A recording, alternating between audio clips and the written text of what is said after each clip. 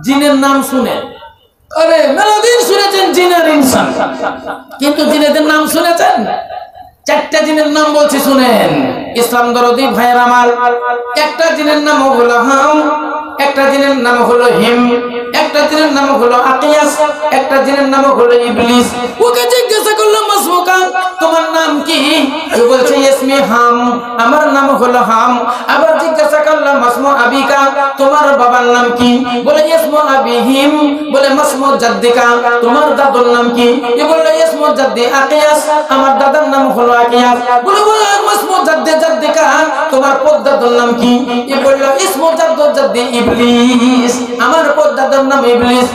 নবী বুঝলেন, এটা মানুষ নয়, এটা মানুষ নয়, এটা হলো জিন। নবী পেউচি কেটে চলে যাচ্ছেন। জিন বলছে, হুজুর আপনি আমাকে ছেড়ে চলে যাচ্ছেন। ভয় করলেন? না, কি ব্যাপার? চলে যাচ্ছেন কেন? বলে, বাবা, ভয়ও করিনি বলে, ঘৃণা করলেন? বলে, ঘৃণাও করিনি, তবে চলে যাচ্ছেন কেন? আপনি আমার খবরটা নেন, আমার হকিকত শোনেন। আমার হরি শুনুন। আল্লাহ নবী বলছেন তাহলে বলো, তোমার ঘটনা বলো, তোমার হদিস বলো। বলে, ইয়া রাসূলুল্লাহ, আমার নাম হলো হাম, আমি থাকতাম সুলাইমান নবীর দরবারে। সুলাইমান আলাইহিস সালাম, তার বাপের নাম হলো দাউদ। দাউদ আলাইহিস সালামের উদরে জন্ম নিয়েছিলেন এক নবী, যার নাম ছিল সুলাইমান সালাম। সুলাইমানের হাওয়াই তত্ত্ব আকাশে সূর্য যেখানে সূর্য যেখানে এত দূর তিনি ভ্রমণ করতেন। যার নাম হলো সুলাইমান। আল্লাহ এত বড় রাজত্ব তাকে দান করেছিলেন, এত বড় ব্যবসা করেছিলেন, যা কিয়ামত পর্যন্ত এত বড় রাজত্ব কাউকে দেওয়া হবে না, এত বড় ব্যবসা কাউকে বানানো যাবে না। কারণ সুলাইমান আল্লাহর কাছে চেয়ে নিয়েছিলেন। ইয়া আতিনি মুলকান লা ইয়ামবাগি মিন বাদি। এ আল্লাহ, তোমার কাছে আমি একটা জিনিস চাই তুমি আমাকে রাজা বানাও। আল্লাহ, তুমি আমাকে বাদশা বানাও। এত বড় বাদশা বানাও, এত বড় বাদশা বানাও। লা ইয়ামবাগি মিন বাদি, আমার পরে যেন এত বড় বাদশা আর কেউ না হয়। আল্লাহ সুলাইমান নবীকে বাদশা বানিয়ে দিয়েছিলেন। তিনি সাপের কথা বুঝতে পারতেন, পিপিলিকার কথা বুঝতে পারতেন, পাখিদের কথা বুঝতে পারতেন, জিনেদের কথা বুঝতে পারতেন। দুনিয়াতে যত জীবজন্তু আছে, সকলেরই ভাষা উনি বুঝতে পারতেন। আপসে এরা কি বলছেন সেটা বুঝতে পারতেন। ইসলাম সুলাইমান নবীকে দিয়েছিলেন। ইসলাম দরদি বন্ধু, তাই বলছে, হুজুর, আমি সুলাইমান নবীর দরবারে থাকতাম। কোন জিন যদি কোনো অপরাধ করত, তাহলে আমি ওকে ধরে নিয়ে আসতাম। ধরে নিয়ে এসে সুলাইমান নবীর দরবারে আমি হাজির করে দিতাম। সুলাইমান নবী তখন তিনি ফয়সালা করতেন, আর তার শাস্তি দিতাম আমি। আমি ছিলাম তার উজিরে আজাম আমি শয়তানদের মধ্যে জিনেদের সর্দার ছিলাম আমি। সুলাইমান নবী যখন ইন্তেকাল করেন বাইতুল মুকাদ্দাস তৈরির সময়তে তিনি আমাকে বলে গেছেন রে হাম, আমার পরে একজন নবীর আবির্ভাব হবে, আমার পরে একজন নবীর আগমন হবে। মক্কা নগরীতে তার জন্ম হবে। হযরত মুহাম্মদ তার নাম হবে আহমদ তার নাম হবে। আব্দুল্লাহর ঘরে জন্ম, আব্দুল্লাহর আব্দুল্লাহর পৃষ্ঠ হতে জন্ম নেবে। মা আমেনার গর্ভে তার জন্ম হবে। আব্দুল মুত্তালিবের ঘরে কুরাইশ বংশে জন্ম হবে। যদি তার সঙ্গে সাক্ষাৎ হয়ে যায় তাহলে তার মন্ত্রটা পাঠ করে নিও, তার দোয়াটা পড়ে নিও, তার কলেমা যদি পাঠ করো, তাহলে তুমি জান্নাতি হয়ে যাবে। ইয়া রাসূলুল্লাহ, তাই সুলাইমান নবীর দরবার থেকে তিনি যখন ইন্তেকাল হয়ে গেলেন, তখন আমি ওই মিশর শহর থেকে পাড়ি দিলাম। সুদূর মক্কা শহরে, মক্কা নগরীতে এসে আমি আপনার কাছে ছিলাম। আপনি যখন মদিনা চলে এলেন, আমি মদিনাতুল মুনাওয়ারায় চলে এসেছি। ইয়া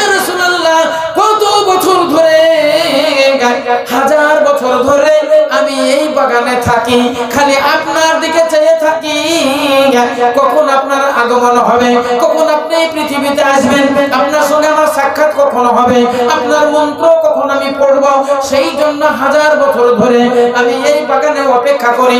আপনি চলে এলেন আজকে এই রাস্তাতে আপনাকে পেয়ে গেছি আপনাকে কোনোদিন একাই আমি পাই না। আজকে একাই পেয়ে গেছি। আপনার দয়ের হাতখানা বাড়ানা। আপনার মন্ত্রটা আমাকে পড়িয়ে দেন। আল্লাহ নবী বললেন, তুমি কি মুসলমান হবে? বলে, হুজুর, আমি মুসলমান হব। আল্লাহ নবীর হাতে কলেমা পাঠ করে মুসলমান হয়ে গেলেন। ইসলাম দরদি ভাইয়ের আমার আল্লাহ নবী বললেন, তুমি সন্ধ্যা বেলাতে আমার দাসে চলে যাও আমার দাসে বসে তুমি কিছু শিক্ষা গ্রহণ করো। প্রতিদিন সন্ধ্যাতে আল্লাহ নবীর দাস হতো সাহাবাদের। ওই সাহাবাদের দাসে গিয়ে জিন বসে যেত, মানুষের রূপ ধারণ করে। কেউ চিনতে পারতো না। বলছে যে আল্লাহ নবীর পরে সে তেরোটা সূরা মুখস্থ করেছিল। তেরোটা সূরা মুখস্থ করার পর আল্লাহ নবীর ইন্তেকাল হয়ে গেছে। রাবি বর্ণনা দিচ্ছেন, সেই জিন মরে গেছে কি আছে আমার জানা নাই। আহা, তো এ হলো জিনের ঘটনা। তাহলে বোঝা গেল আল্লাহ নবী জিনেদেরও নবী আল্লাহ নবী সাপেরও নবী আল্লাহ নবী বাঘেরও নবী আল্লাহ নবী আমরা ওয়াজ করতে করতে বলি আল্লাহ নবী চল্লিশ বছরের নবুয়তি পেলেন। নবুয়তি প্লেনের মানে চল্লিশ বছরে তিনি নবুয়তি প্রকাশ হলো। কিন্তু তিনি নবী আগে থেকেই ছিলেন। আল্লাহ নবী যখন মায়ের গর্ভে, তখনও তিনি নবী ছিলেন। নবী যখন দুনিয়াতে জন্ম নিলেন, তখনও তিনি নবী ছিলেন। নবী যখন পাঁচ বছর বয়স, তখনও তিনি নবী ছিলেন। নবীর আমার দশ বছর বয়স, তখনও তিনি নবী ছিলেন। পঁচিশ বছর বয়সে খাদিজার সঙ্গে বিবাহ হলো, তখন আল্লাহ নবী নবী ছিলেন। চল্লিশ বছর নবী আমার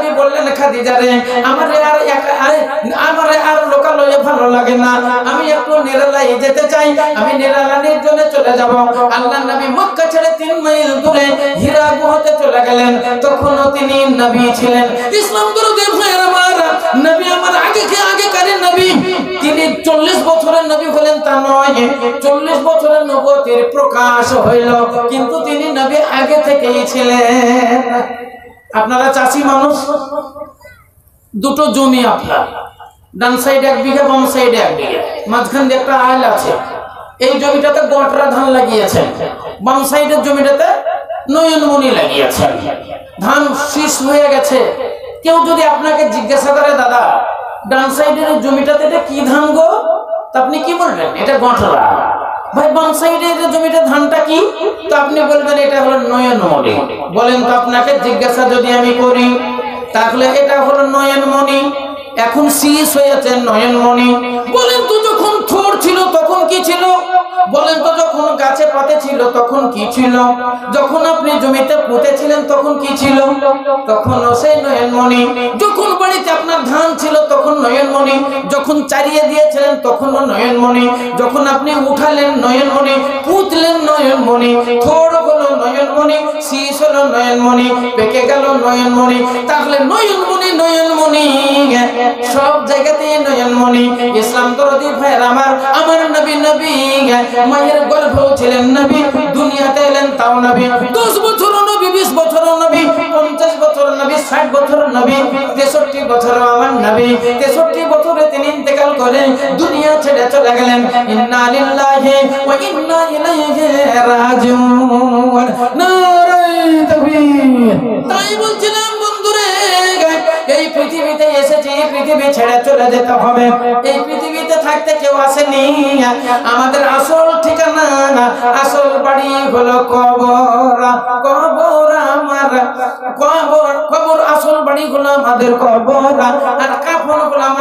জিনিস।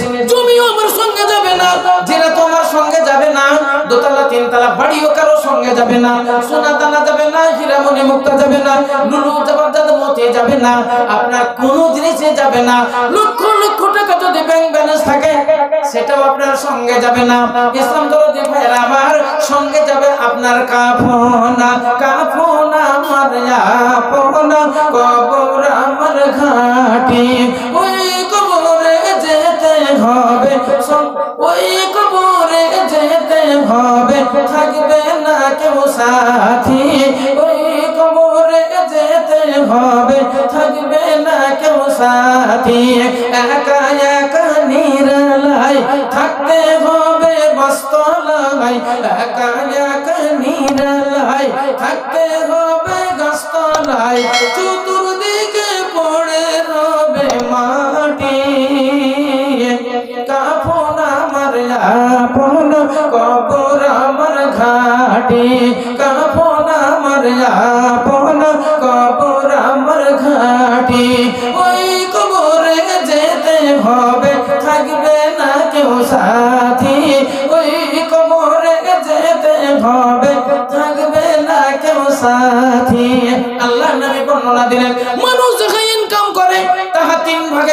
হয়ে যায়, যেটা খায় সেটা মল হয়ে যায়, যেটা পরিধান করে যায়, ফেটে যায়। আল্লাহ রাস্তায় যেটা দান করে জন্য হয়ে যায়। একবার আলহামদুলিল্লাহ। আমার, তাহলে বুঝতে পারলেন। আল্লাহ নবীর বাত, আল্লাহ নবীর কথা, কোনোদিন ঝুট হবে না। তো নবী আমার বলছেন, মানুষ যাহা ইনকাম করে, তাহা তিন ভাগে হয়ে যায়। তার মধ্যে যেটা ও খায় সেটা পায়খানা হয়ে যায়, মল হয়ে যায়। যেটা পরিধান করে ছিঁড়ে যায়, ফেটে যায়। আল্লাহ রাস্তায় যেটা দান করে, সেটা আখেরাতের জন্য ব্যাংক ব্যালেন্স হয়ে যায়। বাদ বাকি যেটা রেখে দিয়ে চলে যায়, এ তোমারা মাল নেই হ্যাঁ এ তো গায়রু কামাল হ্যাঁ ওটা আপনার মাল নয়। এটা হলো পরের মাল বুখারী শরীফের হাদিস আল্লাহর নবী বলেছেন इंसान को क्या हो गया वो अपने माल की हिफाजत किए बगैर दूसरों के माल की हिफाजत करते हैं মানুষদের কি হয়ে গেছে ও নিজের মালের হেফাজত না করে পরের মালের হেফাজত করে একজন সাহাবা দাঁড়িয়ে গেলেন বলছেন, ইয়া রাসূলুল্লাহ, ইয়া হাবিবাল্লাহ। নিজের মাল কাকে বলে? পরের মাল কাকে বলে? আল্লাহ নবী বললেন, যেটা তুমি খেয়ে নিলে, এটা হলো তোমার মাল। যেটা তুমি পরিধান করলে এটা হলো তোমার মাল। আল্লাহ রাস্তায় তুমি জমা করলে? আল্লাহ রাস্তায় যেটা দান করলে, এটাও হলো তোমার মাল। বাদ বাকি যেটা রেখে তুমি মরে গেলে, এ তোমারা মাল নেই এ তো গৈরু কামাল হ্যাঁ যেটা আপনি রেখে দিয়ে চলে গেলেন, ওইটা আপনার নয় তিনতলা বাড়ি করে চলে গেলেন। কিন্তু বাড়ি পড়েই থেকে গেল। আপনার কবরে নিয়ে যেতে পারলেন না। এটা আপনার নয়। পঞ্চাশ বিঘা জমির মালিক পঞ্চাশ বিঘা জমি কিনেছেন, ভুট্টা লাগিয়ে রেখেছেন। আপনি বলছেন এটা আমার। মরে গেলেন, জমি পড়ে থেকে গেল। এ আপনার নেই, এটা আপনার নয়। ব্যাংক ব্যালেন্স পাঁচ লাখ টাকা থাকল, মরে গেলেন, আপনার নয়। যেটা রেখে দিয়ে আপনি চলে গেলেন দশ দশ দশ আপনার ভরি, বিশ ভরি সোনা রেখে চলে গেলেন। আপনার নয় আপনার নয়, এটা হলো পরের মাল। এগুলা কারও সঙ্গে না, এগুলা কারও সঙ্গে দেয় না। ইসলাম দরদি ভাই আমার, তাই আল্লাহ বলছেন, আল্লাহ নবী বলছেন, দুনিয়াতে মানুষ ইনকাম করে টাকা তিন ভাগে বিভক্ত হয়। যেটা খায় মন হয়ে যায়, যেটা পরিধান করে ছিঁড়ে যায়, ফেটে যায় আল্লাহ করে আখেরাতের জন্য ব্যাংক ব্যালেন্স হয়ে যায়। কিন্তু বন্ধু, আমরা ওইদিকে খেয়াল করি না। আমরা ফকিরকে ভালোবাসি না, আমরা মিসকিনদের দিই না। আমরা গরিব দুঃখের দিকে নজর রাখি না। আমরা মাদ্রাসা তৈরি করি না, আমরা মসজিদ নির্মাণ করি না। আল্লাহ কোরআন শরীফের মধ্যে বলে না, মসজিদ নির্মাণ করবে কারা? মসজিদ তৈরি করবে কারা? মসজিদ কারা আল্লাহ রাব্বুল আলামিন বলেছেন, যাদের ভিতরে ঈমান রয়েছে, যারা মুমিন, যারা আল্লাহর বান্দা, তারাই মসজিদ নির্মাণ করবে। আল্লাহর উপর যারা ঈমান এনেছে, তারা মসজিদ নির্মাণ করবে। কাফির গায়ের মুসলিম যারা, তারা মসজিদ তৈরি করবে না। তাই বলে ভাই, আমরা আল্লাহর বান্দা। আল্লাহর দরবারে আমাদের যেতে হবে। আমাদের মসজিদ তৈরি করতে হবে। আল্লাহ নবী বলেছেন, পৃথিবীর মধ্যে সবচেয়ে উত্তম জায়গা হলো মসজিদ, আর সবচেয়ে নিকৃষ্ট জায়গা হলো বাজার। হাদিস আল্লাহ রাসূল বললেন, দুনিয়াতে সবচেয়ে উত্তম জায়গা, সেটাই হলো মসজিদ। আর একবারে নিকৃষ্ট জায়গা সেটাই হলো বাজার। এমন একটা জামানা আসবে সেই জামানা বড় ভয়াবহ হবে সেই জামানা বড় কঠিন হবে। সেই জামানায় মানুষ মসজিদের দিকে আর যাবে না এরা বাজারের দিকে যাবে বাজারের দিকে ছুটে চলে যাবে। হ্যাঁ কত দিয়েছে? আমি তো দশ হাজার টাকার একটা দাবি রেখেছিলাম। অন্তত পাঁচ হাজার টাকার একটা। আপনাদের পাওয়া যাবে? আচ্ছা, এক হাজার। টাকা। গাছে আব্দাল দুশো টাকা। আর দেড় হাজার টাকা অবস্থা ভালো আঞ্জার ভাই? কই কোথায় আছে? আচ্ছা দশ তো বলেছি দশের লোক হবে কি না? কারণ এখন শেষ টাইম তো। হ্যাঁ, সেই জন্য বলছি শেষ টাইম মানে আপনাদের কালেকশনের প্রায় শেষের দিকে। তো বলেন ভাই আপনি তো আন্দাজ কত? বিশ বোরা সিমেন্ট মানে চার কুড়ি আশি। আট হাজার। তাহলে তাহলে তো অনেক বেড়ে গেল তো। আলহামদুলিল্লাহ। নারে তাকবীর। আনজার আলম। তিনি দিলেন নগদ দেড় হাজার টাকা। আর মসজিদের জন্য উনি দিলেন বিশ বোরা সিমেন্ট। একটু হাত তুলে দেন না ছোট্ট করে আমি বলেছি। আমিন। আলহামদুলিল্লাহ আলামিন।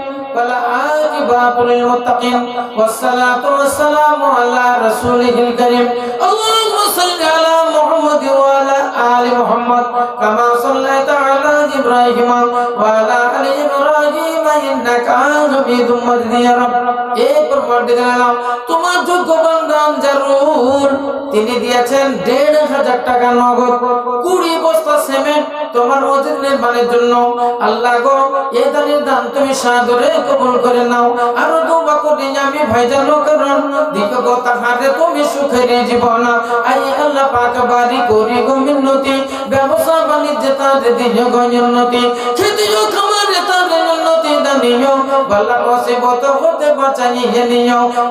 তোমার নাম রহিম রহমান, তোমারই নামের গুণ দিন পরিত্রাণ।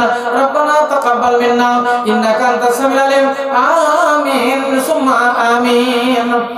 ইকোটা একটু কমিয়ে দেন, মাইক না ইকোটা একটু কমান। তারপরে বলছিলাম হাসান ভাই, আর কারা আছেন? আর কারা আছেন? আনজার ভাইয়ের মতো। বলেন 20 ব্যাগ সিমেন্ট। অনেক সিমেন্টের দরকার। মোটামুটি একশো বস্তা সিমেন্টের দরকার। বলেন আল্লাহ রাস্তায় কেউ পাঁচ বস্তা, দশ বস্তা, এক বস্তা, দু বস্তা, যে যেমন মানুষ, তেমনি বলেন ইনশাল্লাহ দোয়া খায়ের হবে? হ্যাঁ তিন হাজার টাকা। ভাই এটার অবস্থা কেমন? আছে। আচ্ছা ঠিক আছে। তাহলে রেজাউল ভাই তিন হাজার টাকা। প্রকাশিয়া ভাইজানের রদানিলা গ্রহণ